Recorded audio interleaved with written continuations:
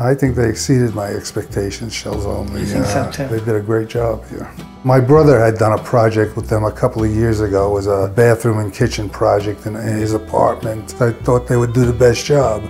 I always believe in you get what you pay for. We had a, uh new kitchen put in from scratch down to the studs. They do a very complete job. They have quality craftsmen that come in and do the work. There's no fooling around. Once they get going, they work one day right after another. Comparing Shells Only to the other companies, I think they do a more complete job. We recently had a bathroom done upstairs by a competitor, but we had to do a lot of legwork.